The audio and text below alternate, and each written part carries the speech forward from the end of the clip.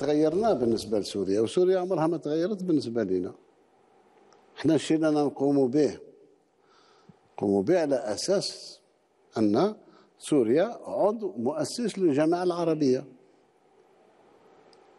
تعزلها ولا ما تعزلهاش ما تنحي لهاش الحقوق تاعها. قدرش تمحيها. إحنا ما غيرنا والو. إحنا كما كان أمس واليوم. الهبة اللي هبت الجزائر لمساعدة شقيق ضرب الزلزال كانت هبة يعني من القلب ما فيها لا حسابات سياسية ولا. الباقي فيه نظام دولي فارض نفسه على الضعيف قبل القوي. نتمنى إن شاء الله باش الأمور تتغير باش الرؤية العربية تعاود تتغير.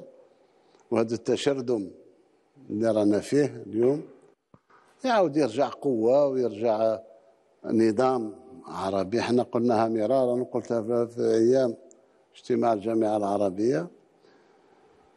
من المفروض نأمن إحنا أول من يأمن بقوتنا.